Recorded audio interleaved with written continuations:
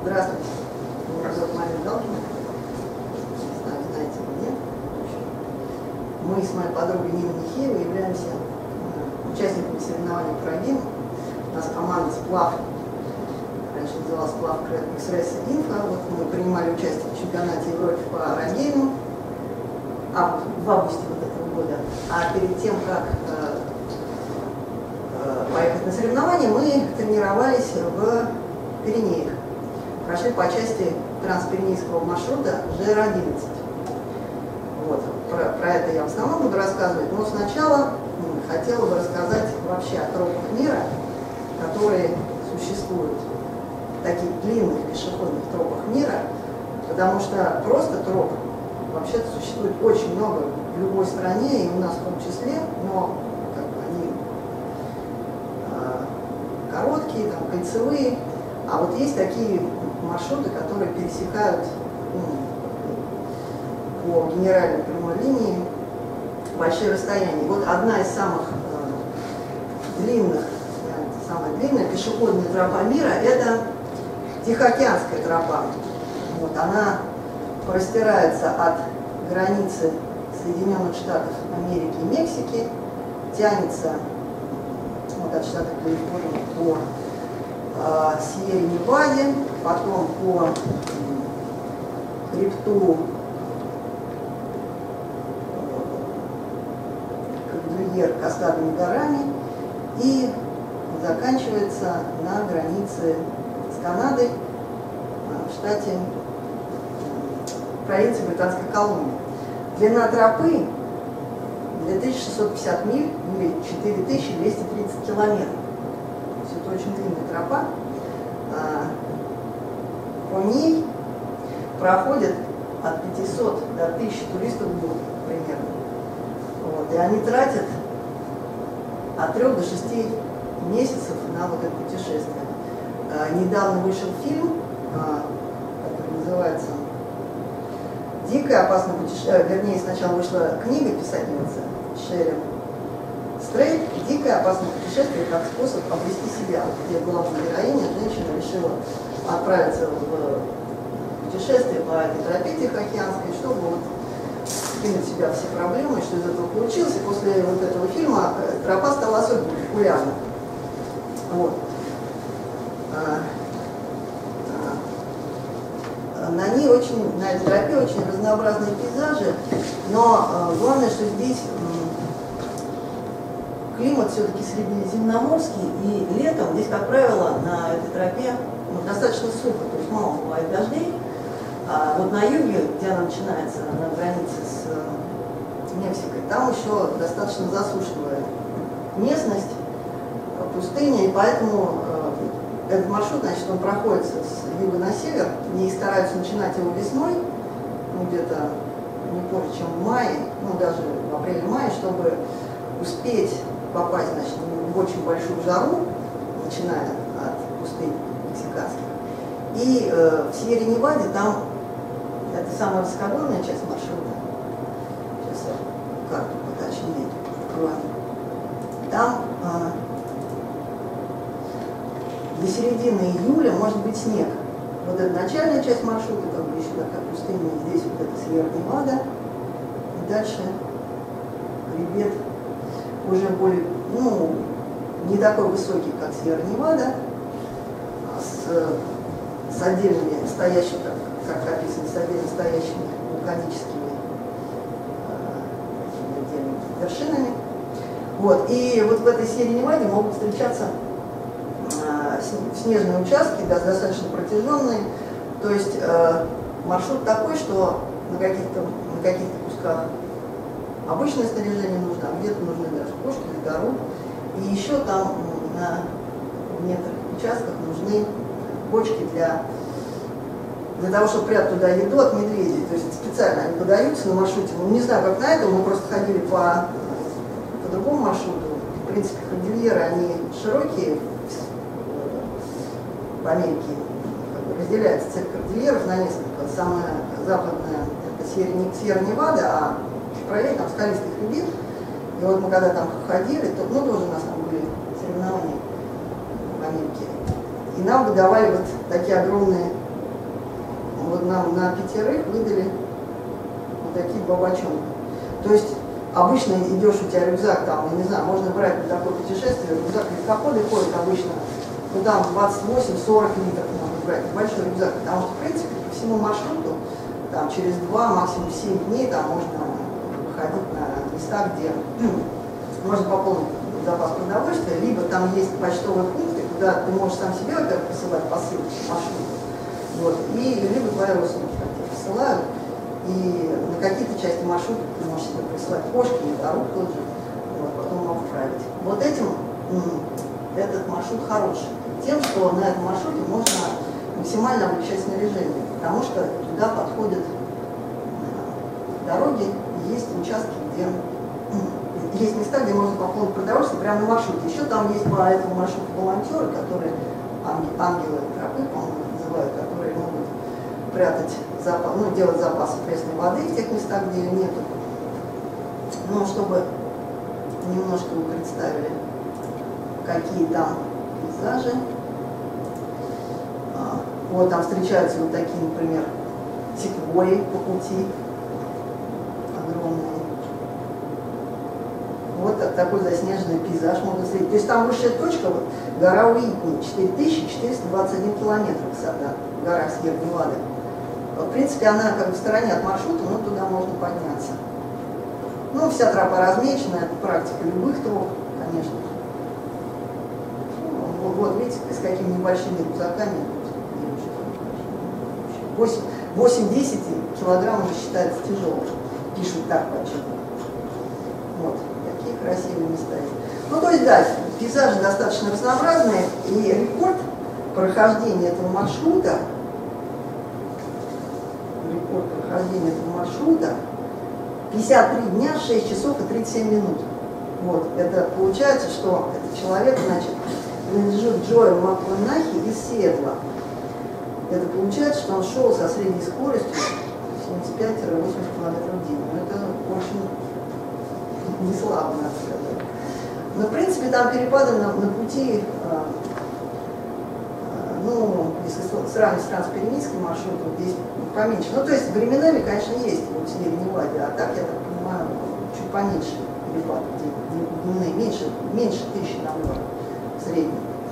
Еще, значит, в Южной Америке есть Апалачская тропа. Она более э, пологая по своему рельефу, потому что она старейшая. По ней проходит 3 миллиона человек, людей в год. То есть очень популярный маршрут. Он ну, как бы недалеко вроде как от Нью-Йорка, ну то есть от более населенной части Соединенных Штатов. Вот. Но он, в отличие от э, вот этой Тихоокеанской тропы, он более дикий, что ли, из-за того, что туда не подходят дороги. То есть для того, чтобы пополнить продовольствие, люди должны там 25-30 километров либо подъехать автостопом до какого-то там населенного пункта, пешком пройти, отклониться от маршрута. И, как пишут, рюкзаки у них там на маршруте там 15-20 килограмм могут весить, это вполне как бы норма.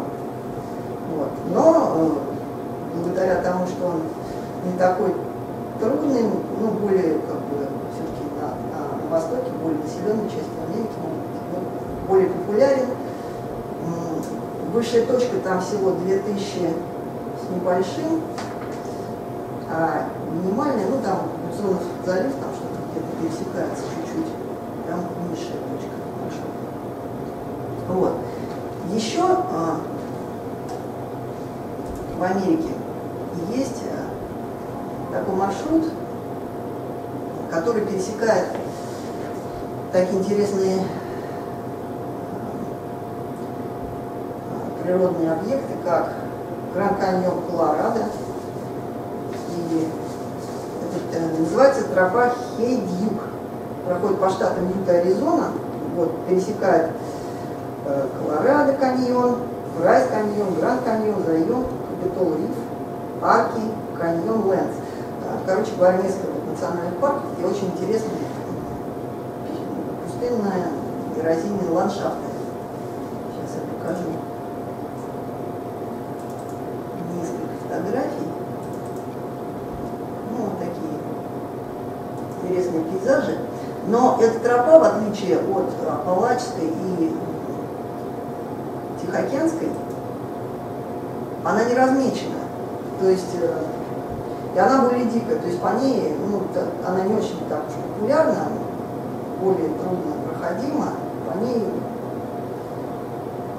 не такой поток туристов идет, менее пользуется популярностью. Дальше, национальная тропа в Канаде. Она проходит, э, начинается от Ниагарского водопада и простирается э, примерно на...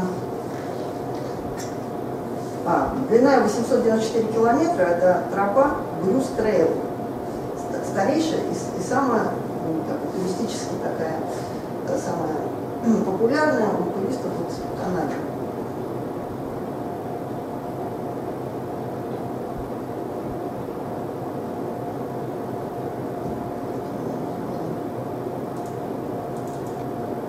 Вот. А, Ее рекомендуют проходить осенью, в сентябре-октябре где-то, потому что там очень красивые краски осени. И вот это так называемый уступ, Ниагарский уступ, и вдоль него идет эта тропа, то есть там открывается достаточно красивый вид. Дальше, значит, э, имеется еще длинных троп Израильская тропа. Она проходит по пустыням, протяженность ее 900 тысяч километров примерно.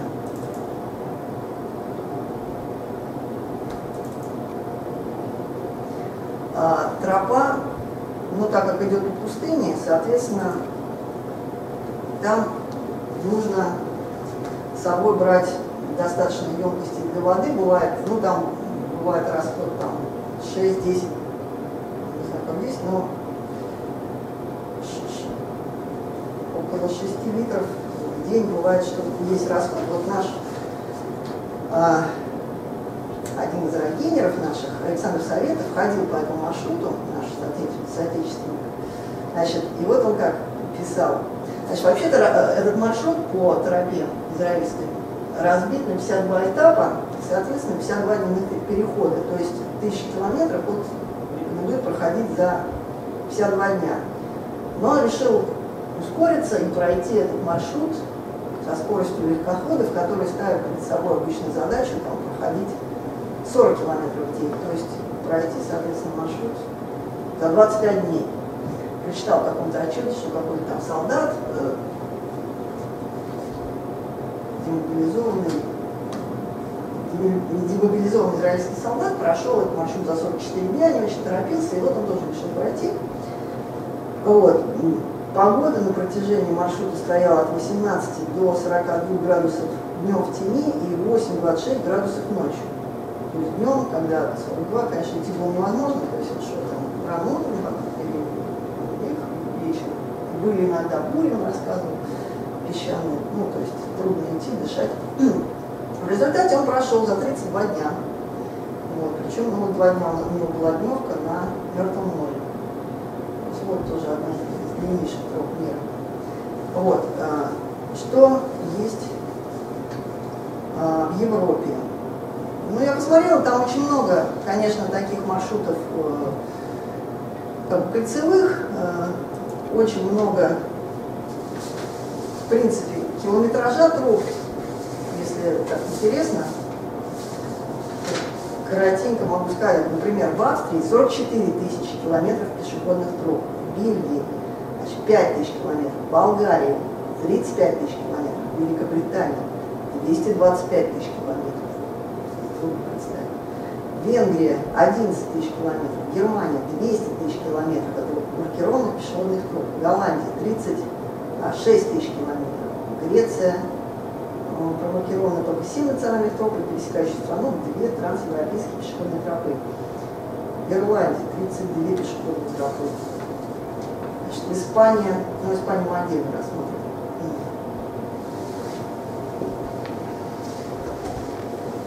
Норвегии 20 тысяч километров пешеходных, Польша 65 тысяч километров, Франция 178 тысяч километров, Чехии 37 тысяч километров, Швейцария 60 тысяч километров, Швеция одна тысяча километров пешеходных. Но вот в Швеции я нашла длинный маршрут, такой транс, как бы, который не кольцевой, не идеально, а именно который пересекающий протяженный участок страны.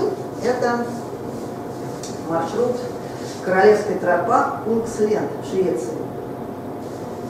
Этот маршрут э, протяженностью 440 километров, и он хорош тем, что зимой э, он превращается в лыжную трассу, и весь маршрут можно проехать на лыжах, 440 километров. Это очень, очень здорово. Вот у нас проходит гонка Васлопет, э, Финляндии, да? Норвегия. Какой-то из скандинавских трав, стран есть гонка Васлопет. Это 100 километров бегут от границы до границы лыжники. А тут целых 440 километров лыжни можно гуляться. Вот.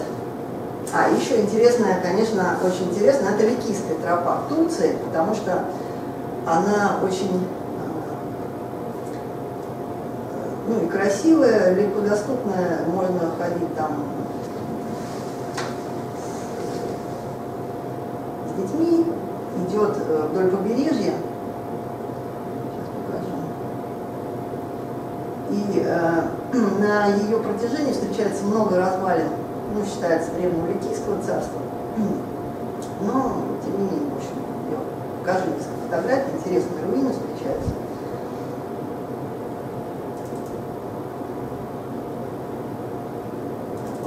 Ликийская тропа, она идет от Анталии, ну, то есть, в принципе, очень легко доступна туда. В Анталию прилететь несложно, сейчас мы смотрим, не враги. И вот она идет вдоль побережья. На самом деле этот маршрут нарисован примерно, как я смотрю, потому что вот мы шли от Кемера, Тенюк, Кемер, Текерова. Тропа идет вдоль побережья. То есть вот ты идешь и видишь море, можешь спускаться бухтом, совершенно диким, купаться. Ну, я в апреле ходила, потрясающе, мне очень понравилось. В общем, вот такой маршрут, протяженность порядка 500, 500 или 550 километров, и вполне легко доступный. Вот. Что у нас в стране существует из?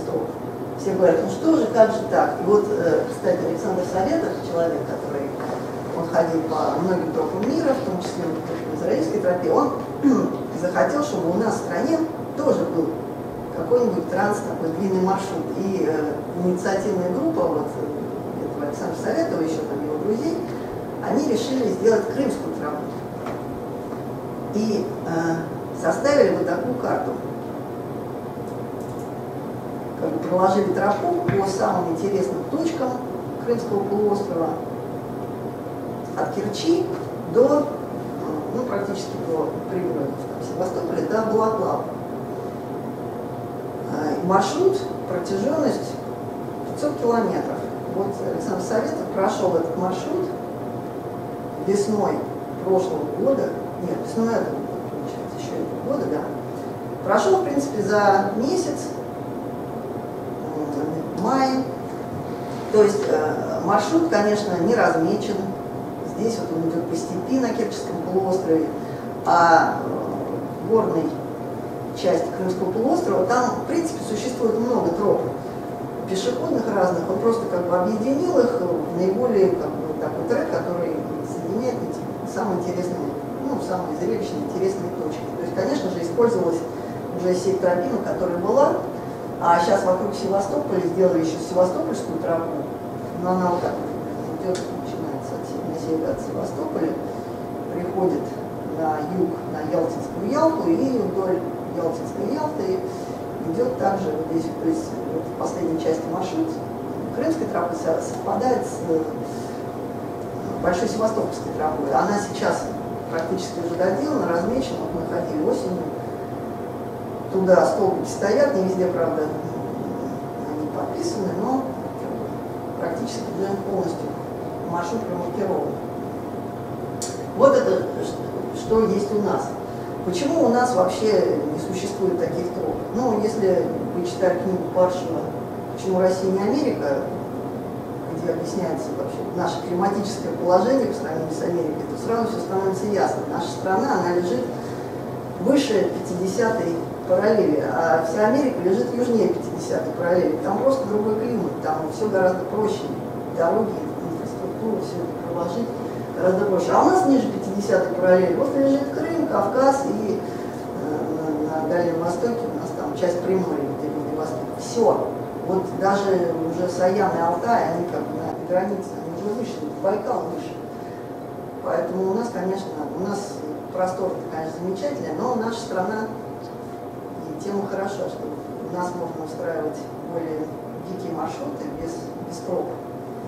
Там где-то с вертолетными забросками, но у нас поэтому по-другому.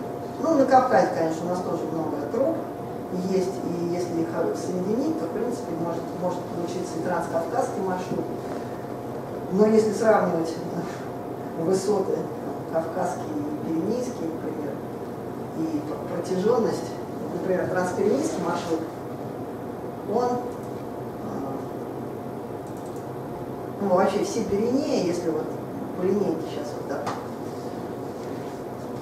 от Средиземного моря до Атлантического океана, вот эта вот протяженность напрямую будет 450 километров. А протяженность Кавказского хребта, главного, если посмотреть, от Черного моря до, до Каспийского, будет 750 километров, то есть уже длиннее гораздо.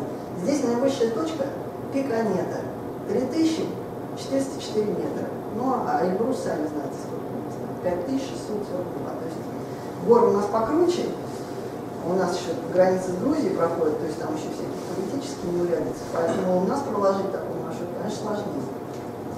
Но у нас часть маршрута, конечно, например, от Красной Поляны можно пройти до Архыза, потом дальше до Тиберды, до Приебруси, до Казбека, в принципе, пройти можно. Ну, там будет гораздо круче, чем вот более крутые перевалы будут встречаться, чем, например, на вот, транспортнинском маршруте. Вот мы подошли с вами, наконец, к теме сегодняшнего основного рассказа. Вот транспортнийский маршрут. На самом деле существует, ну, если транспортнийский маршрут смотреть, то их существует три.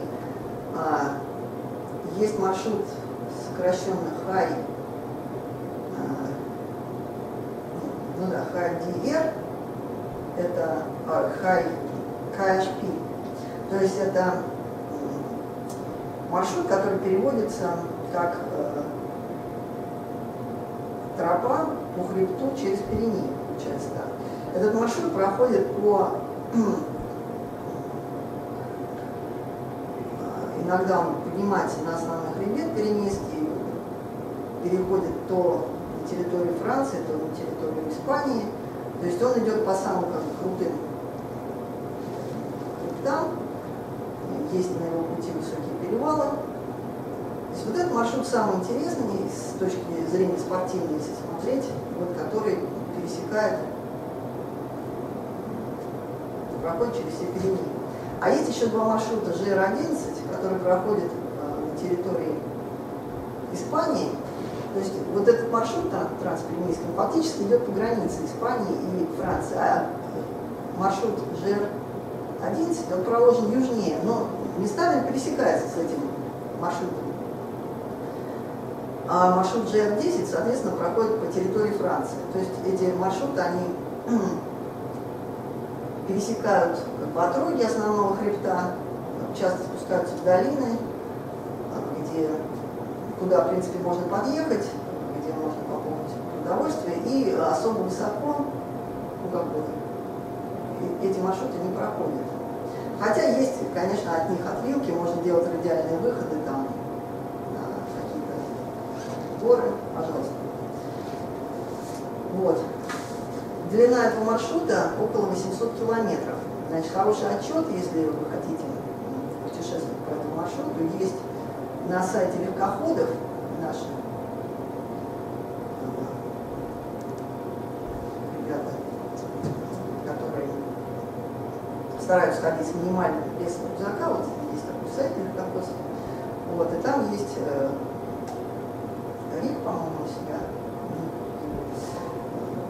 парень прошел этот маршрут и э, оставил хороший отчет, в котором можно найти и карты, и трек, то есть все можно найти и руководствуясь этим отчетом пройти. В принципе, этот маршрут ходится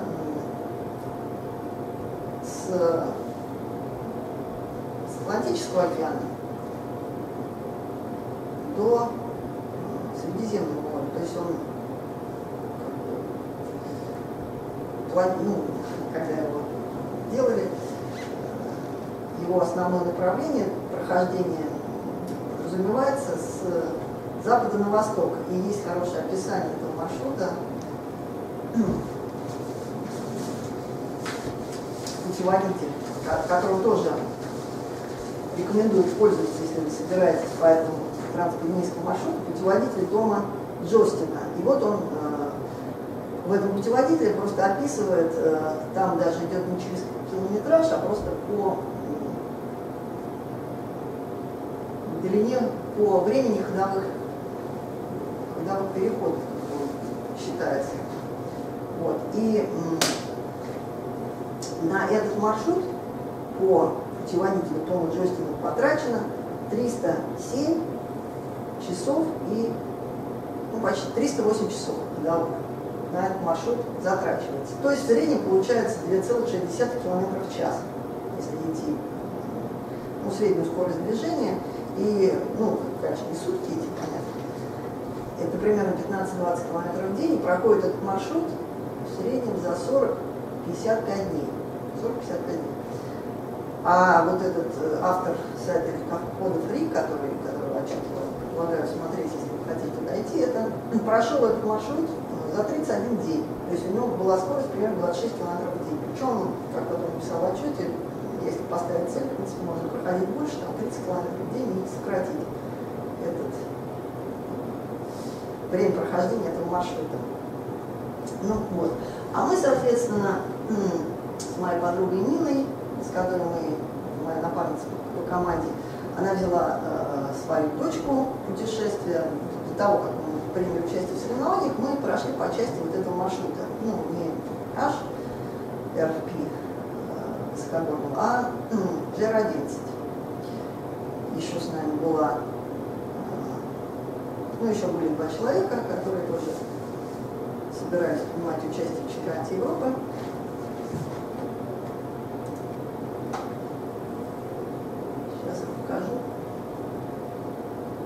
где проходил конкретно наш маршрут.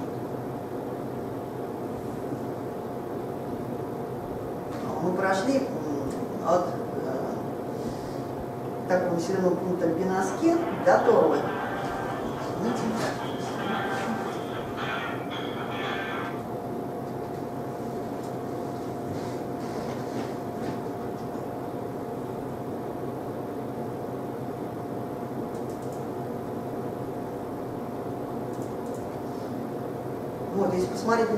То самая как бы, возвышенная часть, ну, в самом центре, можно сказать, находится ну, центральная часть Пиренеев. Здесь самый высокий пик Анета, находится 3404 метра. А мы начинали из национального парка Пусец до окрестности пика Пусец 3369 метров. И пришли в национальный парк Монте-Пердиго и еще там Ардеса Монте-Пердиго. Вот так называется здесь национальный парк. Здесь очень интересный маршрут кольцевой и ну, вот можно зайти на одну из высочайших точек, это гора Монте-Пердиго, 3355 метров. То есть, в принципе, вот это расстояние, что мы прошли, это около 100 километров, не так много, то есть одна восьмая маршрута. Но здесь можно было накрутить еще всяких радиалов, что я сделала, то есть у меня получилось вообще 130 километров. Набор составил, мы прошли где-то за 6,5 дней, набор у нас составил от 6 до 10 тысяч метров за, за 6 дней. То есть, в принципе, если идти просто по маршруту, то получается ну, порядка тысячи километров набора высоты. Ну, так, в среднем, плюс-минус. Это вполне проходимо, нагрузка нормальная. И там настолько хорошая тропа, что идти очень легко. Но если смотреть на такой карте, видно, что ну, вот этот парк Монтепертида, здесь парк Ассец. А, есть долины, по которым проложены дороги, ну, то есть, когда идешь по маршруту, то пересекаешь ну, то, то хребет, то долину, где есть подъезд. В принципе, можно отдельно подъехать сначала в парк, в этот посетить его, потом отдельно подъехать в парк Монтепердида, потому что, на самом деле, вот переходы мне не очень понравились. То есть, части маршрута некоторые очень красивые, интересные, а некоторые, ну, как я называю, там, прогонные участки. Идешь по дороге, местами асфальтовый, местами грунтовый, и как бы, ничего такого особенного не наблюдаешь. Ну, то есть только получаешь удовольствие от движения. Начали мы наш маршрут от э, Бенаске, прямо от... Э, ну, автобус не доезжает до... Мы приехали туда на автобусе, просто на рейсовом автобусе из... Э, ну, там не рейсовый, как заказывали, в принципе, из Барселоны мы приехали на автобусе. На двух пересадки. Ну, короче говоря, сюда можно добраться даже на таком общественном транспорте. И э, пошли на начало маршрута. В принципе, вот здесь по долинам рек идется э, основной маршрут, просто вдоль реки, дальше перевал и продолжается маршрут. Значит, маршрут у нас был Бенаске, Рефуга Эстес, Рефуга Биадес в начале показывать фотографию, то есть рассказывать. Значит, по пути маршрута, ну вот видите, дорога достаточно, вот, здесь и машины проезжают на самом деле, такая грунтовка хорошая. И по пути встречаются такие строения, домики, которые называются там рифуги. Вот. Такие рифуги а, есть ну, более обустроенные, есть менее обустроенные, есть те, в которых э, можно переночевать, ну, там надо заранее бронировать даже места в сезон. А в принципе пишут в отчетах, что э, осенью, ну, то есть не сезон, можно в каких-то рефугах даже ночевать бесплатно, потому что там мало народу. А есть вот такие простые небольшие рефуги, как бы, где просто каменные стены, внутри есть очаг, можно развести костер, и где-то нары такие деревянные, хорошие. Вот здесь мы, например, пережидали дождь. Да, что интересно, в августе у нас первая половина дня была, как правило, ясная, а второй половине дня часто бегали облака, и шел ливень такой где-то час, потом опять все было хорошо. И вот пока шел ливень, вот такой рефуги можно переждать. Вот. Э, на следующий день я поняла, что наша команда идет слишком медленно и решила, пока они идут один перевал, пройти три перевала. То есть там, в принципе, можно закладывать а, для себя какие-то радиалки, там очень много троп маркированных, помимо основной тропы. Вот, например, вот основная дорога, основная тропа, тропа GR11, она идет по, ну вот по долине, приходит по реку Эстес дальше идет в Репугу Вьядос, а я решила пройти, ну прям там на месте и узнала, что вот есть такой маршрут. То есть я заранее ничего там не смотрела. А здесь есть еще ЖР 11-2. И вот он идет вот, вот таким путем окольным. Ну и дальше он закругляется и приходит к той рефуге, к которой можно прийти напрямую. И он проходит через очень красивые озера Патисиева. И просто вот я здесь на развилке около Рифу Гест увидела указатель на эти озера, пошла просто. В результате я прошла вот за день там, 30 километров, пока не проходили 10 напрямую. И увидела гораздо больше. То есть, в принципе, там есть как бы для импровизации все, все условия можно пути делать радиалки, какие-то кольцевые выходы, пути обычного маршрута. И вот я пошла на эти озера Пятисинела. Такие там пейзажи, достаточно хорошая тропа. Встречается тоже сухой лес.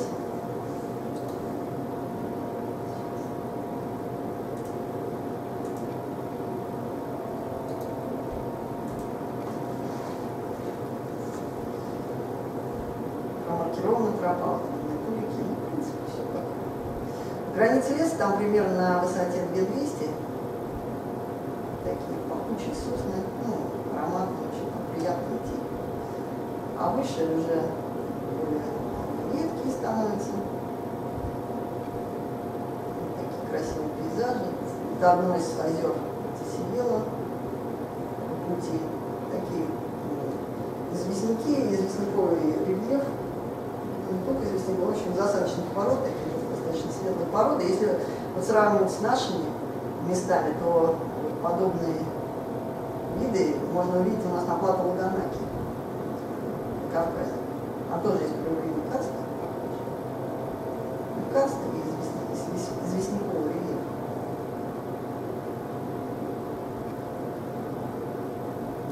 Очень мало снега в августе остается. Конечно, вот снег, он украшает маршрут, как мне кажется, и в Пиренеях мне показалось очень с этим туго, совсем нет снега. Ну, там, да, жарко. Вот такие красивые.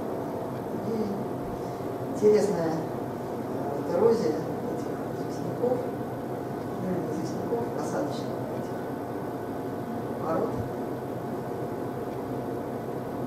Так они расчерчены, удивительно, прям можно подумать, что здесь что-то такое поработало неземное. Но это вот такая эрозия просто. Мне повезло, когда облачно, то красивее, в общем-то, видно, чем когда просто ярко светит солнце. Опять порик.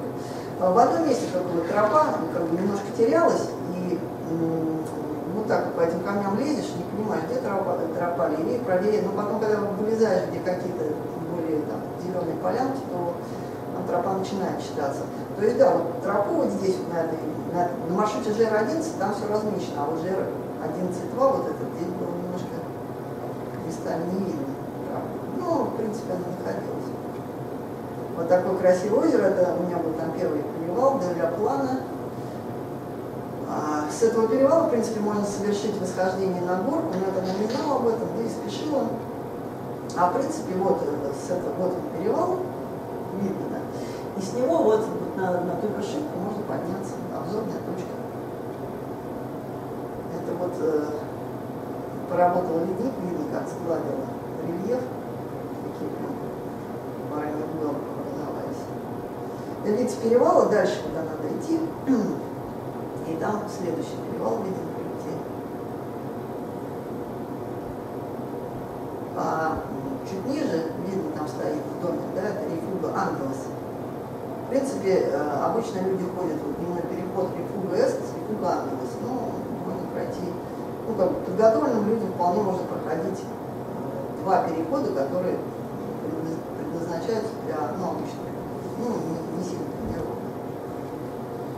А это какая-то со- совсем маленькая, как пастушеская рефуга, не знаю. Здесь тоже можно залезть и переждать и погоду. Я в рефугу Ан- Анджелес не спускался, она там ниже, в лесной зоне. Я пошла дальше. Перевал- след- следующий перевал Иристи.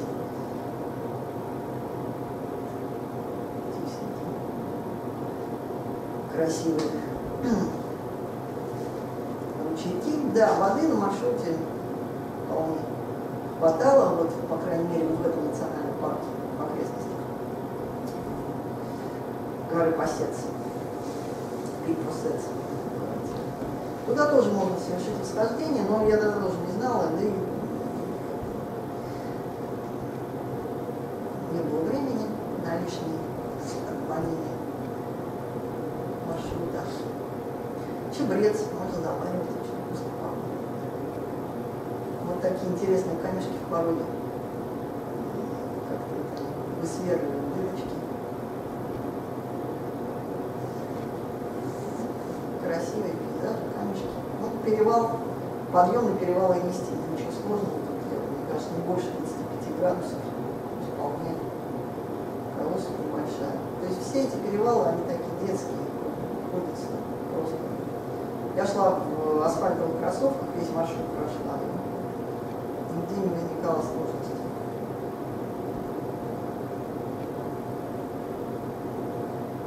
Виды красивые. вот под перевалом Иристи, озеро. Ну, снега мало, да. Химки стоят тоже на перевалах, все, все как полагается, как у нас на Кавказе. Интересные камни с такими вкраплениями. Красивые.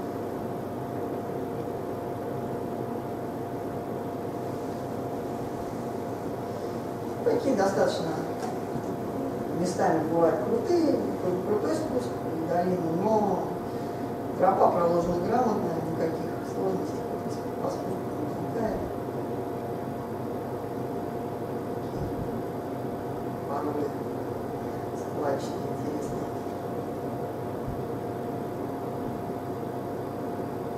Ну вот эти перевалы, они порядка лет два 800, может быть. Не, может быть, и меньше все-таки. И вот уже не- совсем недалеко до лес, лесной зоны. Все-таки снежники, ручей оттуда, снизу про- проделаны. Вот на тропе такие указатели стоят на всех развилках, в общем-то, не заблудишься. И, я говорила, а вот, ну вот перевал 2800 метров, да, перевал Лиски, 2800 метров высоты. И все, все расстояния, они не в километрах указываются, а в, во времени. То есть вот 1 час 30 минут. Причем это э, очень достаточно четкая вот эта вот э, градация расстояний. То есть э, реально вот примерно за столько и проходишь. Ну, если ты там ускоришься, немножко быстрее. Но это не как мы ходили в Новой Зеландии, там по маршруту. Там обычно ставят э, время на ну, среднестатистического, там, как говорится, японского, японского туриста, и обычно время всегда занижено, ну, то есть завышено обычно. Иногда ему надо даже делить. Но здесь так делать нельзя. Здесь достаточно четко вот эти временные расстояния определены. То есть нельзя думать, что в два раза быстрее пройдешь.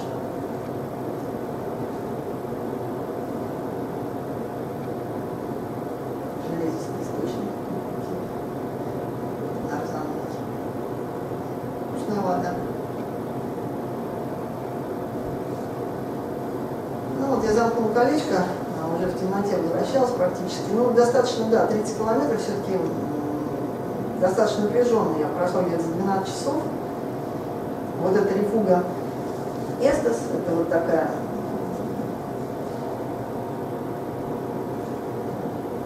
платная рефуга, то есть здесь вот заранее, чтобы остановиться, нужно бронировать номер. В принципе, там, если прийти вечером, то там готовят еду, можно, чтобы перекусить. Но у меня все свое было, в общем. Я не пользовалась услугами еды. И в рефугах еще можно карты достать. Ведь на маршрут. Ну, на, как, на часть маршрута. А так, э, значит, останавливаться в палатке можно, ну, как нам сказали, где-то ну, в 20 минутах хода до рефуги или, или сзади. Ну и, конечно, надо отойти от тропы, чтобы тебя, ну, я на самом деле как-то шла по тропе и даже прям споткнулась, чуть не споткнулась от палатки, но это было уже в темноте.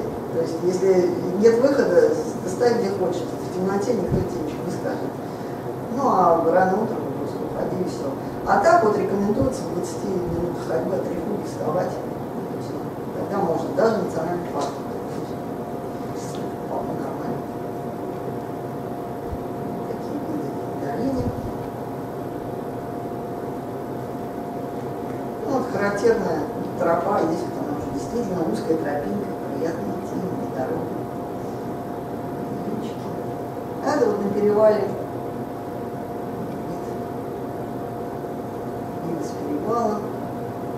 Вот такая хорошая тропа. Это путь на к рефуге, от рефугистас к рефуге Диадеса. Очень популярный маршрут, в принципе, там много народу встречало, и он такой маршрут выходного дня, думаю, то есть вот за два дня при- приезжают выходные, проходят. Очень много там местных ходит, а, и французов, и испанцев, и там, ну, в основном испанцев. с детьми, то есть у них это очень популярно, такие машины, очень популярны А вот дальше был такой длинный участок, не очень интересно, я там почти ничего не снимала. То есть вот когда э, вышла, вышла тропа из национального парка, там стало ну, менее интересно, и шла просто грунтовая дорога, э, по которой, в принципе, ездят машины. Ну, там по пути были места, где можно было зайти в кафе или даже в магазинчик какой-то небольшой. То есть, ну, ты просто вошел в населенку. Вот. И этот участок тянулся, ну, наверное, километров 15, может быть. Вот. А потом постепенно опять как втягиваешься в лесную зону, населенные участки. И вот э, следующая как, такая стоянка и рефуга на этом маршруте, это рефуга Урдисета. Здесь озеро одноименное Урдисета. Но мне не захотелось вставать около рефуги. И я просто спустилась чуть пониже, это, это, это большое озеро, а чуть ниже него было маленькое, совершенно безлюдное озерко. Да, кстати, вот на этом переходе было очень мало воды. Я даже в какой-то момент думала, что надо будет заходить в кафе, чтобы саму воду набрать. Но потом встретилась вода. И вот здесь, вот около озера маленького, я совершенно спокойно поставила палатку, и одна была, никто, никого там не было, никто мне не подходил. Туристы, они как-то вот приезжают все-таки в Рифу, в Рифу останавливаются. А сторону, все совершенно безлюдно. Наблюдай себе закаты, восходы, все красоты. Ну, как у нас на Кавказе, я бы сказала, в районе Архиза меня такие ассоциации с нашим архизмом почему-то вызывали, вызывало, вызывали окрестности маршрута. Но, правда, у нас в окрестностях Архиза как гораздо больше снега, чем здесь Вот такое озерко. Ну, уж больно тут красиво, но кадр в водопадик льется, пожалуйста, твой личный водопад, иди там, умывайся, под душ давай. То есть, да, в Европе совершенно безлюдное место. Дальше идет спуск в долину Парзана. Парзан такой небольшой городок в пути. Очень красивый заходы с такой водой, дороги. Дорога, в принципе, здесь уже проезжая. Да, дальше опять был такой участок, что я не снимала, потому что, ну, Парзан, населенный пункт, там, в принципе, стоял а, супермаркет прямо на обочине, можно было зайти, купить продукты, и газ. В общем, наши ребята это, это и сделали, а я не увидела их. Они были как раз в магазине, потом в ресторан зашли, я их как раз догнала. Я обогнала, думала, что они впереди, а оказалось, что они сзади, поэтому я дальше очень долго бежала, не встречая их. Ну, в общем, э, можно купить любые продукты. Единственное, что с газом, так как, э, ну, тут рядом Франция, то здесь чаще используются горелки, баллоны, кемпинг-газ, то есть э, там специальная особая резьба. То есть не во всех магазинах можно купить баллоны вот, под наши обычные тепловые горелки. То есть там вот чаще используются баллоны кемпинг-газ. Но вот в этом магазине, кстати, были любые баллоны. А потом мы вот искали баллоны под нашу тепловую горелку, наши стандарты. И вот в Павлоне городе, и там не сразу нашли, в общем, могут возникнуть трудности. Надо иметь в виду, что в Европе там чаще используются, ну, по крайней мере, на этом маршруте чаще, чаще используются баллоны кемпинг-газа. Ну, это голубые особенно. Они без баллонов.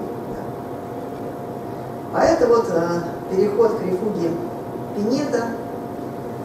Такие красивые.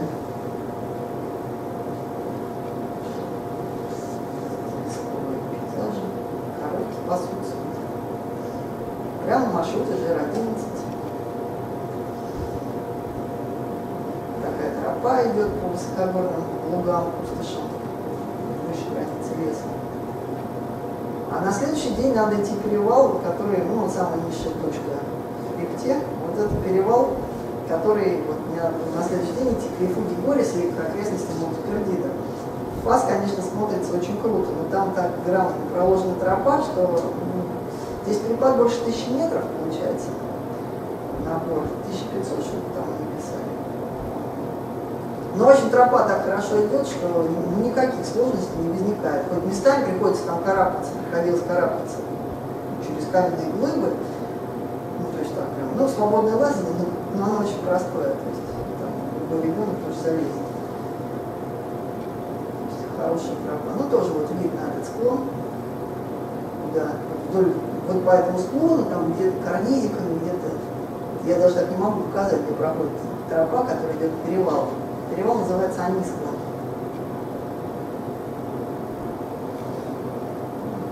Виды вечерние. Да, кстати, как идти дальше я не очень знала, но вот по ходу маршрута встречаются даже такие плакаты с, с картами. Можно перефотографировать просто и понять, что это такое. Потому что, например, вот в этой точке от перевала Анискла маршрут GR11, он разделялся, и можно было прийти в Рифугу горе с двумя путями. Можно пройти было высокогорным путем, ну, не высокогорным, как по хребту, верхами, а можно было спуститься в каньон и пройти каньон. Вот я только там узнала. То есть я шла совершенно как, ничего не знаю, ну, общалась по пути с местными, там по тропе, в принципе, идут люди. Вот. И э, познакомилась с двумя французами, я просто искала своих и спрашивала, вот встречали русских? Нет. Я спросила, как дальше идти, будет ли там впереди вода, потому что непонятно было. Вот в этой части маршрута, кстати, с водой было не везде хорошо. Подъеме к перевалу Аниского. И мне эти французы дали карты, я перефотографировала, великолепно. Нету, а более. То есть, в принципе, можно к маршруту практически не готовиться. Там есть везде разметки, везде можно спросить информацию по пути в рефугах получить. То есть все можно на месте. Вот это подъемный перевал Анискла. Я уже на следующий день пошла. Путь, э, вид в долину. В принципе, по этой долине тоже вот, приезжают машины на можно приехать на машине к рефуге Пинета и оттуда от этой рефуги люди, просто очень много людей ходят в радиальный выход на перевал Аникского. Вот, когда я поднималась, со мной там много групп шло, но они все доходили до верха и потом спускались, потому что не очень хорошая погода была, дальше почему-то практически никто не шел. Ну, облака вот нависли, и вверху не было видимости. То есть перевал, он так периодически он закрывался облаками. Вот. Вот он перевал, тут, перевал. Но я решил дальше идти не каньоном, а верхами. Но получилось, что я все прошла в тумане, практически ничего не видела. На маршруте там встречались участки, где навешаны цепи, провешены прям, винчены, ну, биоферрата называется. Да. Ну там, в принципе, ничего сложного нет. Но когда влажно, просто более скользкие, более скользкие камни, склоны. И, в принципе, цепи тогда помогают, за них просто держишься. Ну. Вот, я шла и просто в тумане идешь, но обрыв там хороший, конечно. То есть тропа иногда прям рядом с обрывом идешь, но она хорошая тропа, но понимаешь, что если ты там чуть левее там ногу поставишь, лететь долго придется. Вот, и оттуда так иногда какие-то птицы. Да, опять туман. В общем, в тумане они тоже очень приятно. Но вот мои друзья, они шли на следующий день уже по, по солнцу, ну, были совсем другие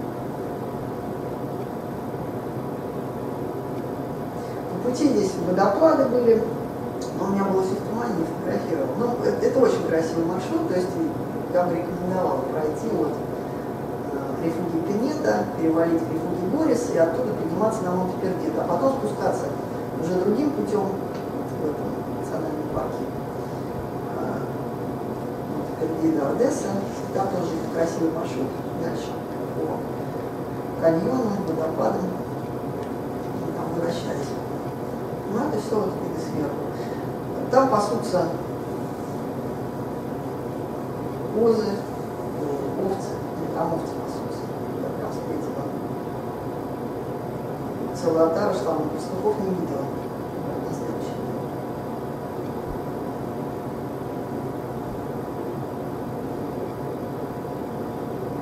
все подходы к Борис.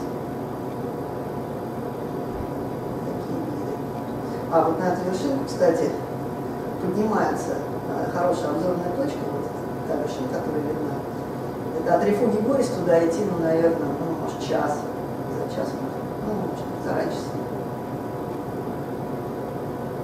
Тропу хорошо видно.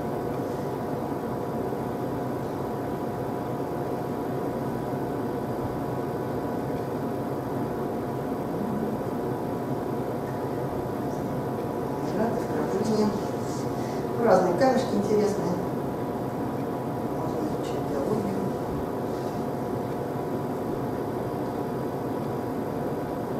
Вот. В этот каньон можно спуститься и пройти, если идти к Рифуге Борис от перевала Аниского другим путем. А, я там верхом шла, там один момент, конечно, такой был. В тумане иду, смотрю, впереди просто вообще пропасть, а мне же еще не видно, что там, и какая-то эта веревка вниз идет. Я думаю, ну все, как я тут буду спускаться? И такая, ну, столбик стоит с разметкой. Прямо пойдешь, Борису придешь, влево пойдешь, перевала вниз придешь. И все, больше, то есть либо вперед, либо назад. Чего сделать?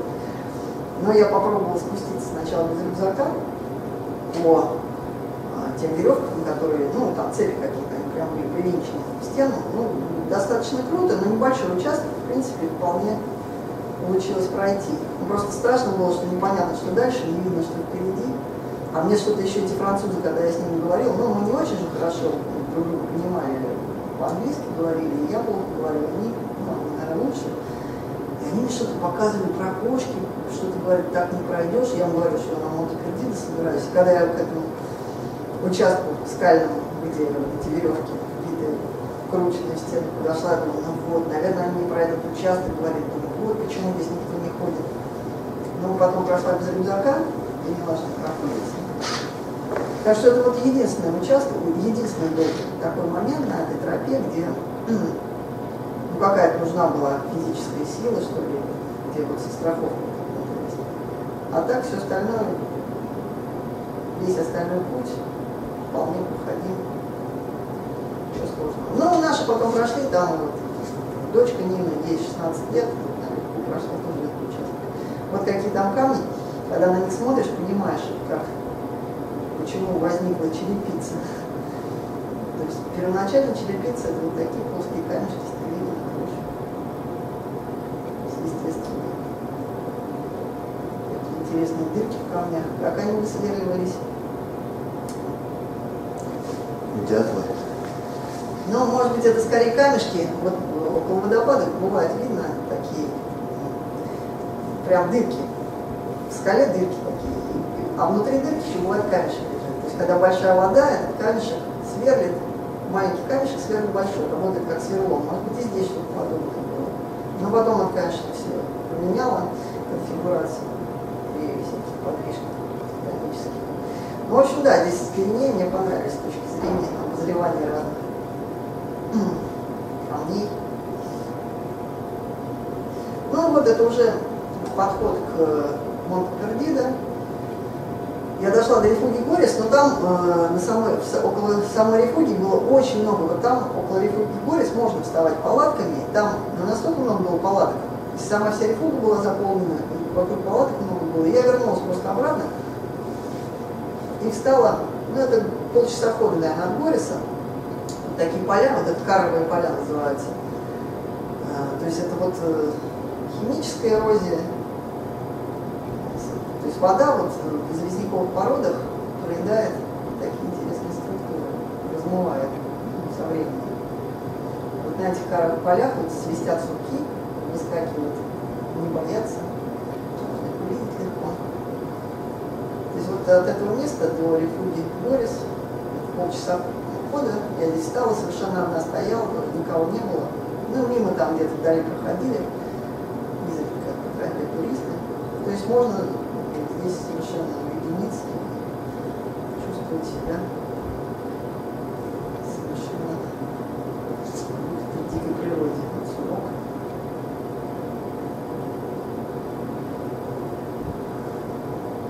Кусочек травы, хорошая трава, ничего сложного. Это, это уже подъем на Монте-Пердида, там от Рефуги Борис, ну прям эта тропа идет там, не сбиться. Ну, вернее, сначала, ну, она небольшим траверсом, там как бы небольшой делает изгиб, но там все понятно, очень много народу идет на эту вершину. Я вот поднималась, по-моему, в субботу, но там просто полчища паломников было на вершине. И много пожилых людей, и очень такая доброжелательная обстановка, все друг друга так поддерживают. Э, кто-то очередную вершину сходит, его там овациями прям встречают. Не знаю, я, я зашла, мне хлопали там. И когда там потом пенсионеры поднялись, им тоже прям так хлопали. В общем, очень приятно. Вот эта сама вершина. Ну там набор сколько получается? Ну, чуть больше километра, наверное. Да, Рифун город. А может, ну, в общем, ну да, больше километра. Ну, ничего сложного нету. В двух местах, по-моему, были тоже такие веревки в скалах вбиты, в скалы величные провешены, но не сложно. Опять же, вот я зашла в асфальтовых кроссовках, там были места, ну, на самом последнем участке взлет такой Курумниковая осыпь такая, она прям ползла, ну, по ней идешь, она ползет, ничего не быстрее ты идешь, тем быстрее залезешь. Меньше, меньше под ногами ползет, зато обратно прям по ней скачешь и ней едешь очень быстро. И виды сверху, вот такие каньоны там потрясающие. Вот это как раз каньон, здесь маршрут проложен. В начале этого каньона там водопад, потом вот его увидите, и вот к этому водопаду, ну, просто куча паломников идет. А вы только единицы из них еще поднимаются выше, чтобы зайти на Борис. Просто не на Борис, на Монтефердино, на. Но вот в той долине, вот внизу, ну потом столько народу встретили, это просто как вот демонстрация какая-то была народу, я не думала, что испанцы настолько, вот, настолько популярны у них вот такой выгляд походы такие, походы выходного дня, видимо. Недавно в воскресенье спускались. Просто, ну просто толк Вот это вид совершенно. Да, там хорошо с трекинговыми палками ходить, ничего-то не взяла, я просто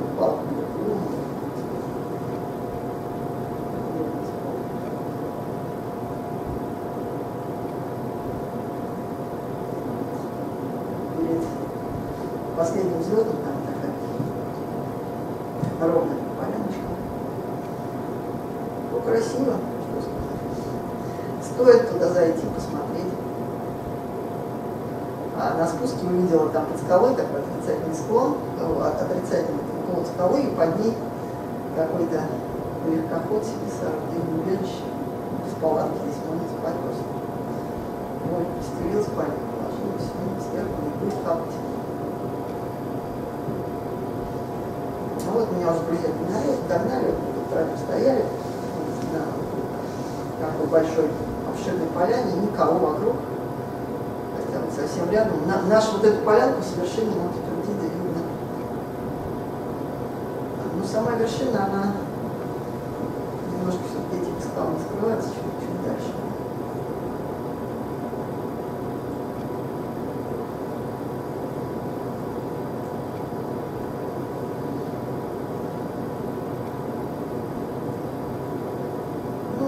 Пошли на спуск, вот в это ущелье. И вот водопад, который стекает, ну, сам ручей течет сверху, с вершины, с, ну, рядом с рекой Борис, ну, проветренная впереди гора. И после вот такого крутого, крутой ступеньки обрыва. Дальше уже долина идет ровная достаточно. Но на водопад, конечно, куча народу приходит посмотреть. Красиво там. Ну а дальше уже тропа идет по долине. В принципе, здесь тоже очень много интересных мест, даже в этой долине. Да, долина парк Ардесса. Там есть маршрут кольцевой на 20 километров. Сейчас я покажу по карте. В принципе, люди приезжают, чтобы пройти вот этот кольцевой маршрут, подойти к этому водопаду красивому и посмотреть каньон. Тут очень ну, красивые стенки каньона, я здесь просто мало фотографировала. Внизу уже вот лес начинается. Все фактически. Дальше э, приходишь на стоянку, стоянка машин, мы думали сначала, но на машинах туда запрещено заезжать, туда приходят рейсовые автобусы, потому что дорога, которая поднимается к этой стоянке, она идет по очень крутому склону, но очень грамотно испанцы сделали. Автобусы идут каждые, каждые полчаса. И очень большие автобусы, они все время загружаются, то есть они вверх идут и вниз, а там даже не разъехаться на дороге, то есть они сделали так, чтобы там раз в полчаса приходят. То есть если туда индивидуально каждый заезжал на машине, они бы эту дорогу быстро забили бы пробками так вот, один автобус ходит вверх-вниз, Челноков, ну, он не один, их несколько, как бы они очень хорошо, грамотно ходят, то есть приходишь, тут же покупаешь билет на стоянке и тебя везут вниз очень быстро до а, поселка Парзан, откуда уже можно на рейсовых автобусах ехать дальше, куда тебе нужно, или если ты взял машину, там можно на парковке, можно оставлять машину в Парзане, ой, Парзан, что я говорю, Торла, это законченный маршрут в поселке Торла. А, если подробнее, подробнее про этот маршрут, все карты есть, э, есть в отчете, в отчете, который выложен на сайте сплава, э, по всему этому маршруту есть подробные карты, можно их скачать, и, в принципе, маршрут легко проходится. Ничего сложного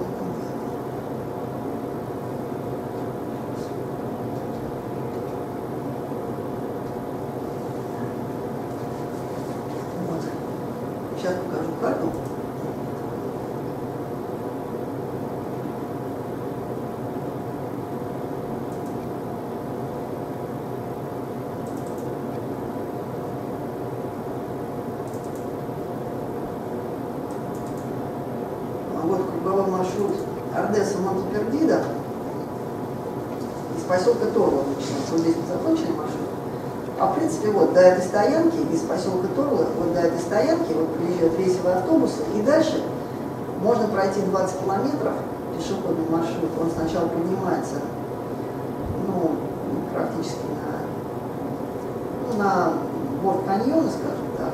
С него очень красивые виды на противоположной стенке каньона. Вот, то есть люди идут, смотрят сначала верхние виды, доходят до водопада, до водопада чуть-чуть сюда еще и возвращаются уже по долине реки. И на долине реки там тоже несколько есть смотровых точек, э, ну, ответ от тропы, и там очень красивые водопады.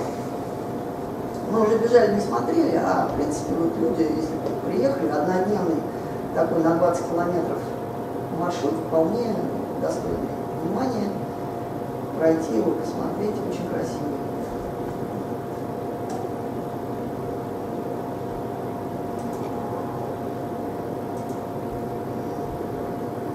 касается снаряжения, если немножко остановиться, да, ну вот по этому транспиренийскому маршруту, в принципе, можно проходить с небольшим рюкзаком, то есть э, продукт пополнять там раз в три, четыре дня вполне можно.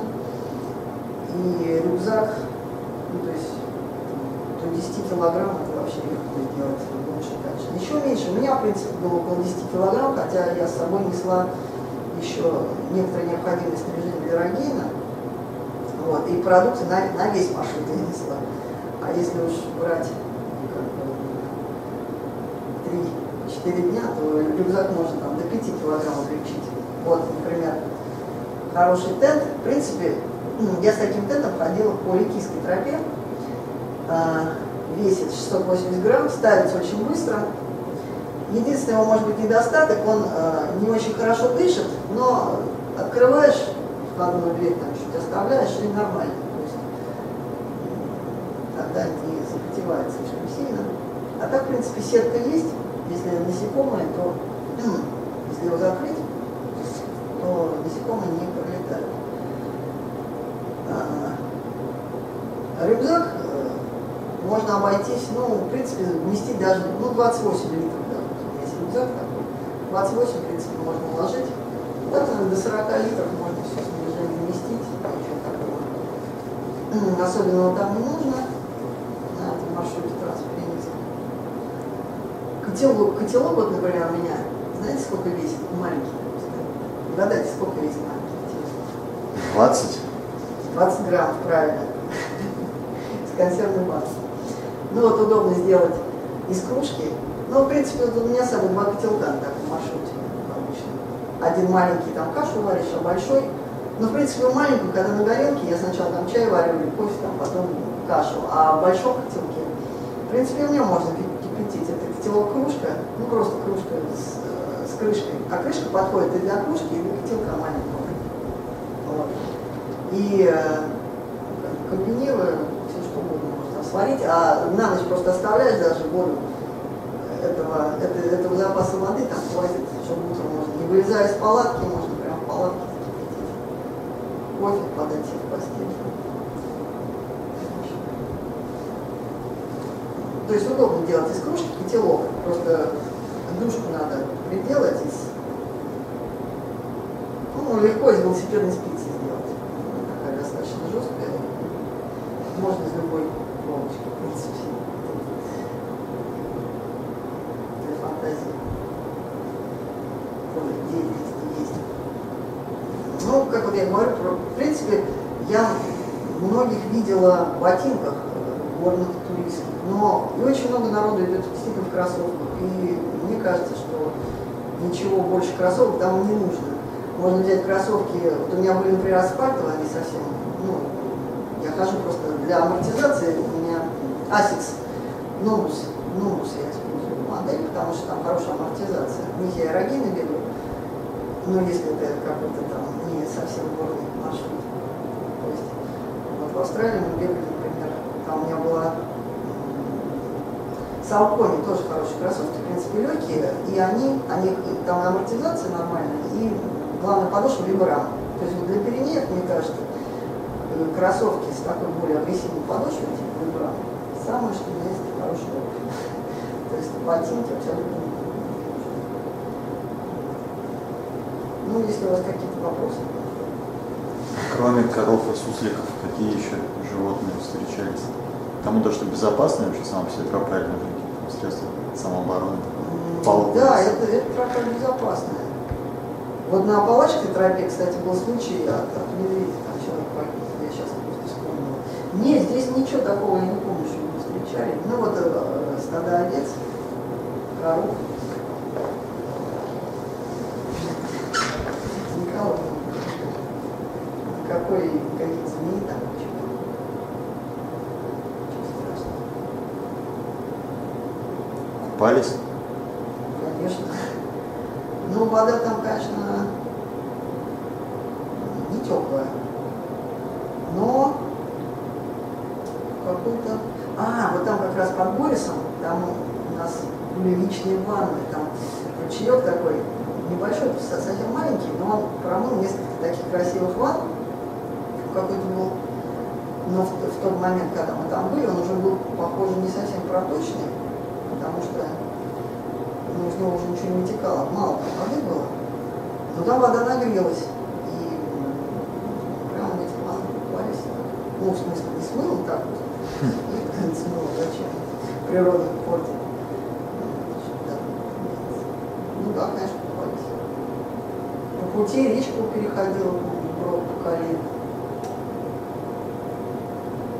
А, да, и до этого там речки были, да, да, есть там где купаться, просто они не очень теплые. Вода есть. А температура какая воздуха была? Ну, у нас э, днем было, ну, до 25, наверное, точно было. Я помню, меня в один раз, в один день меня удар схватил, прям, что-то я так вся покраснела. А, у меня кепки не было.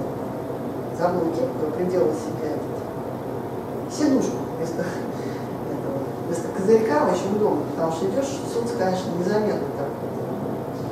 Вроде не очень, вот идешь, вроде не очень жарко, ну потому что ветерок все-таки как-то в горах так чувствую, но солнце очень злое, конечно. То есть я обгорела. Но вот такой изнуряющей жары не было. Ну, наверное, 25 максимум, а так, ну, 20, да. Ночью тепло. Хотя в один день, по-моему, все-таки, а, как раз вот в окрестностях Бориса, да, там было прохладно, там утром был июнь. То есть было около нуля, все-таки заморозок был небольшой, небольшой заморозок был. Ну, это вот на открытых, на открытых уже местах выше возле леса. А в лесу, когда начало, там вообще тепло. Ну, под, под соснами плюс 10, наверное, было. 8-10, наверное.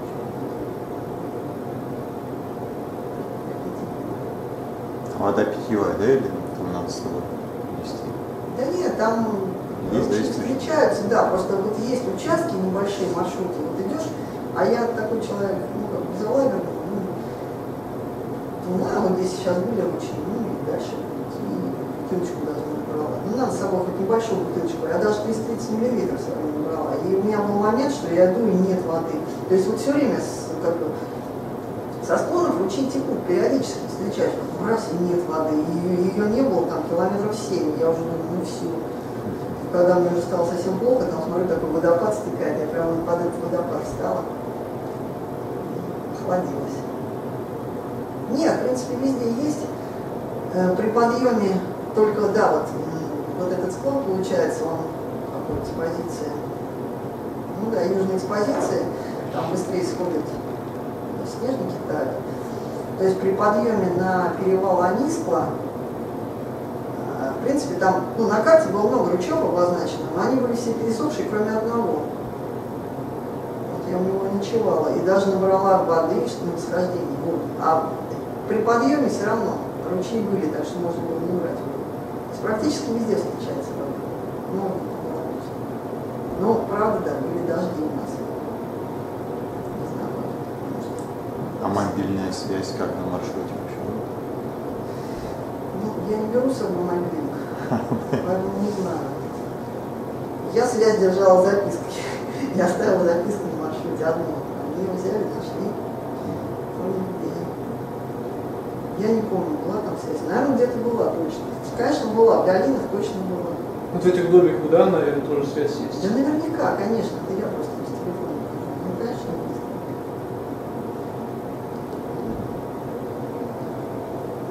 Регистрация не требуется, да, чтобы зайти в национальный парк, еще что-то. Нет, То есть все бесплатно, да, второй? Да, да. Каких путевок, ничего нет. Ничего не надо. Просто шли. Всё ясно.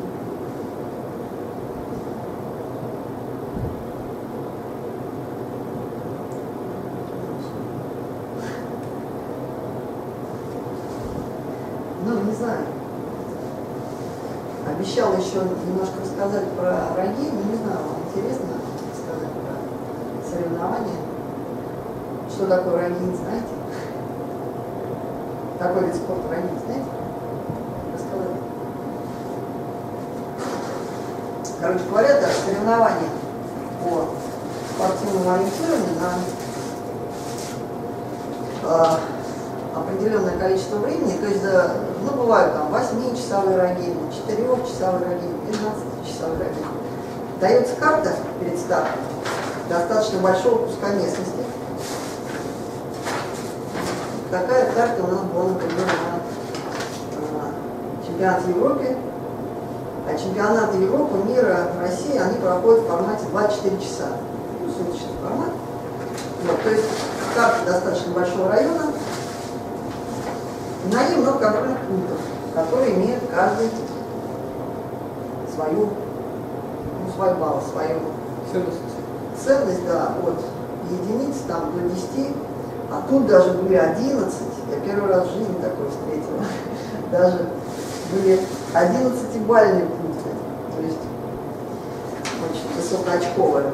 Вот, и э, так как карта выдается за ну, где-то 2-2,5-3 часа до старта, то э, команда имеет возможность, это командное соревнование, то есть на, на формат 24 часа там в одиночку не отпускают, потому что ну, опасно, ли что случится, то есть минимум двойки, ну двойки, тройки обычно И команда по своим силам должна составить такой маршрут, который бы ну, объединял боль, большее количество высокоочковых пунктов и э, был адекватен силам команды, чтобы ты успел вернуться за 24 часа в исходную точку, потому что карта финиш в одном месте проходит. Вот. И каждая команда составляет свой уникальный путь. Ну, где-то, конечно, там пересекаются участки маршрута наверняка, потому что, ну, как бы, бывают оптимальные узкие проходы, которые, как правило, значит, ну, бывают похожи у разных команд. Вот. Но, как правило, редко бывает, что прям целиком весь маршрут повторялся. То есть команды со старта ведут все в разные стороны, и очень интересно потом проходит по разным дистанциям. И вот, и вот этот маршрут, который у нас был, вот, э, он проходил тоже в таком карстовом ну не, не совсем таком, как в этих что мы сейчас смотрели. А, он проходил в более низкогорной местности, конечно, был, был в основном, ну, видно по карте, желтое это, желтое это открытые места, то есть это травянистые луга, грубо говоря. А зеленое и белое это лес. Тут даже градация была леса. Обычно лес просто на карте белых, а э, более подробных ориентировочных картах там еще бывают градации, то есть чем зеленее, тем гуще. Э, ну, труднее проходим, трудно пробегаем. Вот, и э, очень интересный был рельеф, потому что это была карстовая зона, было очень много воронок, причем там 10 метров и больше, такие провалы со скальными стенками. Вот, и были такие участки рельефа, вот, типа каровых полей, что вы видели, а, суслики были, но э, такие каровые поля, что вот эти отдельные такие, отдельно стоящие перья э, вот этих э, из лесковых пород, они как ножи такие вот из земли стоят вот на протяжении вот, ну, очень большого, на большом пространстве, то есть ужасно изрезанный рельеф, это не каменистая россыпь, я вот первый раз так, такой рельеф встретила. То есть очень трудно ходить, вроде как, ну они жесткие, по ним идти можно, но ты вот с одного камня на другой, как с пики на пику, с, с острого ножа на острый нож, так перепрыгиваешь. Если ты оступишься, то все там просто ногу сломаешь. То есть надо очень аккуратно идти, вот очень медленно такие участки проходили себе, и тут была даже градация, то есть в карте они отметили эти участки, сейчас карты вам скажу, они вот эти вот поля вот этих вот игл каменных отмечали точками, причем если они сложно проходимы, это были красные точки. И вот когда попадали в такие красные точки, то скорость передвижения там ну, ужасно падала. То есть настолько падала, что просто почти вставали.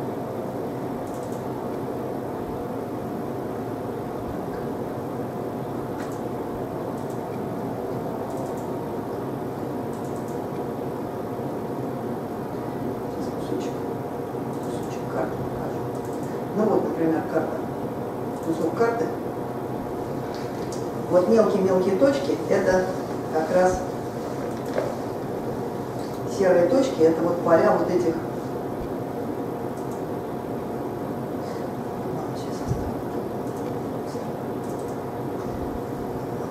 вот эти точки это поля вот этих каменных игл. А э, круглые, ну, рельеф коричневый, да, круглые, вот это все карстовые ямки, воронки, их, их очень много в таких вот воронках тоже ставили контрольные пункты. Вообще на Рогене обычно контрольные пункты не, не, не прячут и э, ставят их да, достаточно открыто. А вот на этом Рогене они прятали э, пункты не то что в ямах, иногда даже в пещерах. То есть там два или три пункта было в пещере. То есть ты спускаешься в яму, вроде ты в районе пункта, а где пункт, и только потом до тебя доходит, что вот туда туннель под землю идет. Но вот такой достаточно светлый там где-то, то есть не совсем темный, но все равно. То есть надо залезть еще там под землю, и только там можно э, найти КП. Сейчас покажу, какой там примерно. Ну вот это как бы самый простенькие такие камушки, я вот почему-то не нашла. Ну, к сожалению, конечно, на дистанции не фотографируешь, но пейзажи там, конечно, очень интересные. Вот, и, короче говоря, мы э, запланировали прямой пройти 72 километра. В результате у нас получилось прямой 46 километров. Причем так, такие ошибки, ну вот э, неправильности вы- выбора дистанции, это были не только у нас. А, Многие команды э,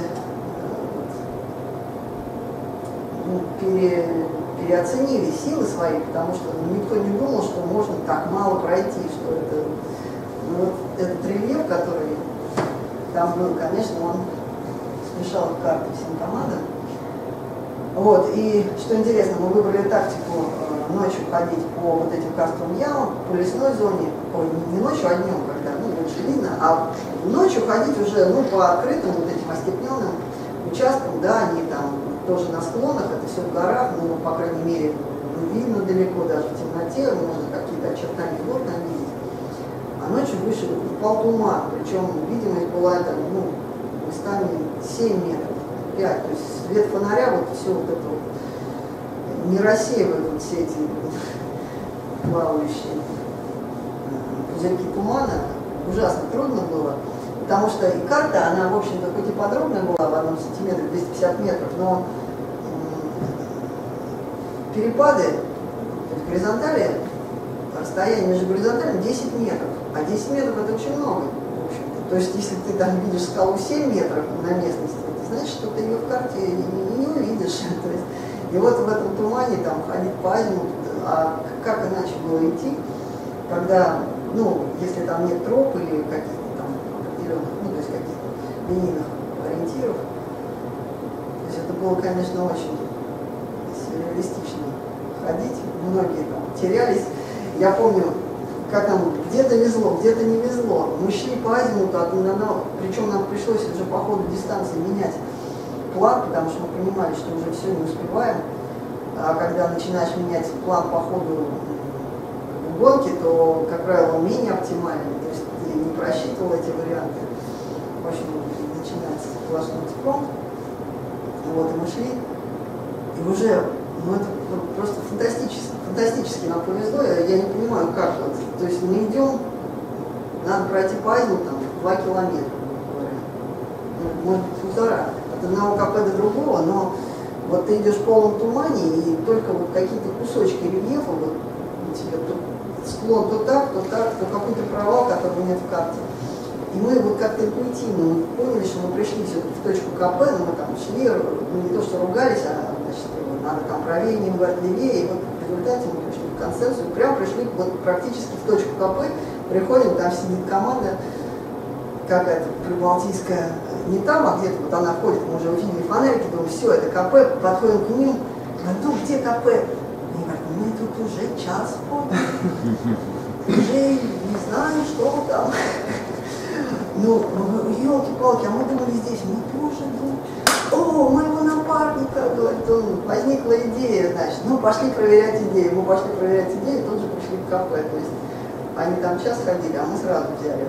Но зато в другом месте нам там не повезло, и мы вылезли на гребень, уже казалось, когда вышел, когда туман спустился, уже скоро был рассвет, должен был, должно было все быть просто, а там ориентировщики спрятали контрольный пункт, то есть контрольный пункт на вершине. Ну вот что может быть проще? Вылезаешь на вершину, я вылезаю на вершину, чуть быстрее ним, потому что там был такой гребень, а, как бы, и на нем было несколько вершинок. Но это была первая, вот по карте судя, это первая вершина. То есть мы вышли на перевал, я смотрю, слева вершина, справа вершина, я понимаю, наш КП слева должно быть. Вылезаю на эту вершину, но думаю, ну, на всякий случай, а вдруг все-таки справа. Ну, почему я так подумал, не знаю. Но подумал я правильно, что она слева. Вылезаю на вершину, на вершине стоит даже э, тур того, что это вершина. Я обхожу этот тур со всех сторон, и КП нету. Елки-палки. Ну, странно. Ну, значит, на следующей вершине. Я бегу к перевалу опять, тут Нина подходит. Я говорю, Нины там нету, бежим дальше. Лезем на следующую вершину, там нету. А там дальше еще одна вершина, на следующую лезем, опять нету. Я говорю, Нина, ну как же? Говорит, пошли обратно, она должна быть там. Я говорю, Нина, ну как, я там была, только что, там нету. А уже 500 метров по этому гребню идем, а это... В общем, мы там ругаемся. Я говорю, не может быть, я там была, ты что, мне не веришь? Я смотрю, а, а все происходит, там она мне кричит, там вдалеке у меня сзади, я иду вперед, она там сзади. Я смотрю, да, они- она мне говорит, Марина, посмотри, это не высшая точка. И тут до меня доходит, да, это же не высшая точка. Я понимаю, что я была в точке КП, но почему КП не было? Мы возвращаемся. Я говорю, Нина, смотри, ну его же нету, мы обходим вершину, КП нету. Мы делаем в сторону 10 шагов, там еще какая-то кучка камней. В этой кучке камней стоит низкопункт. Ну это же надо какой, как, как они ставили пункт. Мы потом, конечно, обсуждали это на финише с другими командами. То есть пункты были поставлены, они просто их прятали, и ну, я не понимаю, как так. А, а в другом месте тоже в темноте идем, туман, надо найти ямы. А, Ну, вот там несколько ям, здесь должен быть такой небольшой хребетик, все это на склоне, ну, то есть такие примерные ориентиры, выходим, вот вроде яма, но тут стадо овец, а в них светишь, а они светятся, у них все глаза красным светятся, а там отражатели на кап- причем на некоторых стоят, на некоторых не стоят, тоже светятся. И вот думаю, елки-палки, они идут по этой яме овцы, вдруг они затоптали это кафе, мы там их разгоняем. Нет, и КП нету. Дальше идем. Вторая яма. Нет, уже вышли на вершинку. Поняли, мы не там. Возвращаемся. Опять в эту яму. Овец уже нет. и КП нету. Ну не может такого быть там. Яма, да. Ну, смотрим мы это, описание. Легенду. Центр. Ну, вернее, центра не было. Просто яма. А если просто яма, должна быть в центре стоять. Но они, видно, организаторы специально не поставили в центр, чтобы овцы не затоптали. Но мы-то нету капы, что делать? Мы уже по кругу ходим в тумане, там начинается, ну, север с югом уже путается, мы не понимаем, что делать, все, выходим отсюда. Мы просто идем на, на ближайший склон этой ямы и утыкаемся в контрольный пункт, который на этом склоне. Ну, это какая-то фантастика. Его, главное, не, он не подсвечивал фонарем. Странно. Вот такие моменты происходили, конечно, удивительные.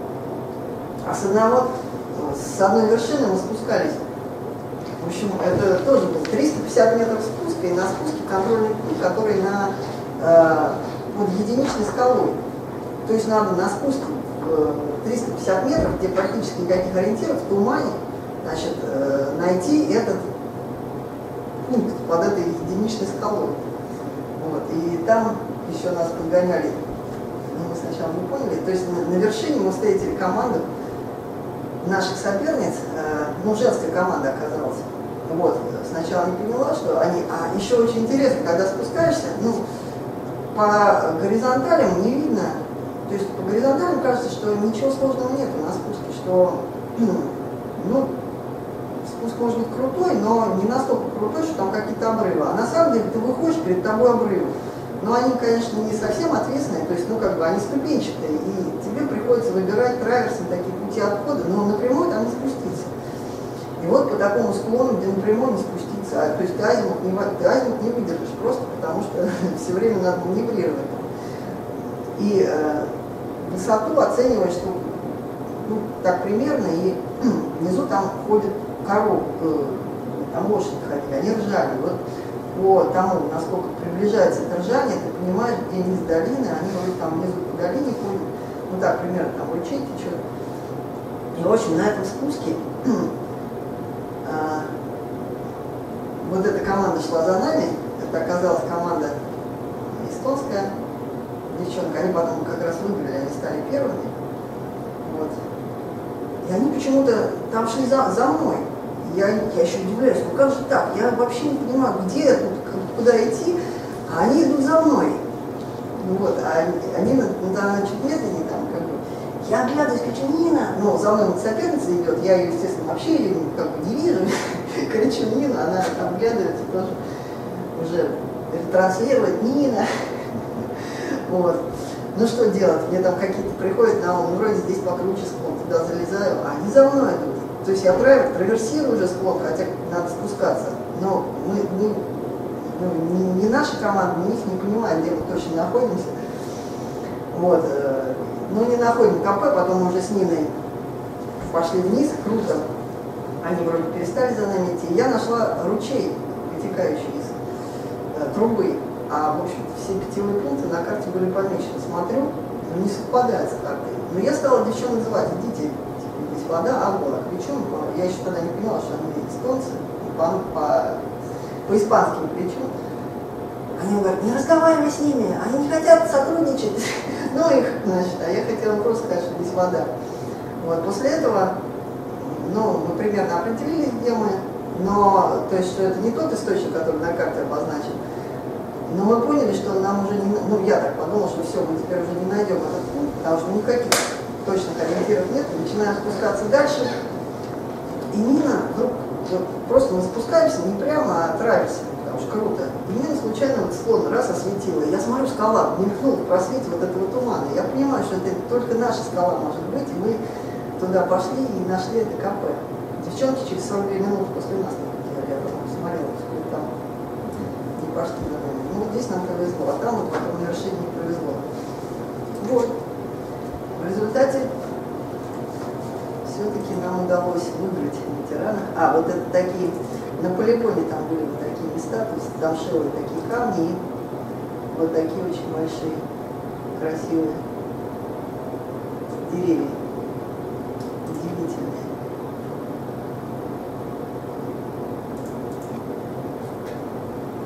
Скалы, полуворонок карстовых и прям вот э, землей контрольные пункты.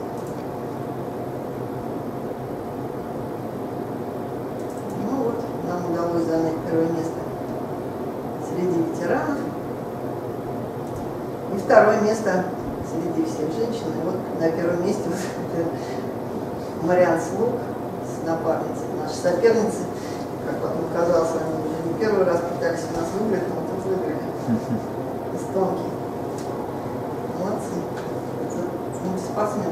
Мариан Мариан Слуг. Известный. Ну, вкратце все про ранение. Что Время. Если вопросы есть, Много эмоций получили. еще бы. Мы всегда получаем очень много эмоций. Каждое такое 24-часовое соревнование это как полноценный поход по эмоциям. Получаешь за 24 часа. Без ночевки, правильно происходит? 24 часа. Без остановки. Нет, ну там, если ты хочешь, пожалуйста, ты можешь спать, можешь Нет, делать, само собой, но Ну, само собой, на Вы- результат вы это ничего не влияет, поэтому мы даже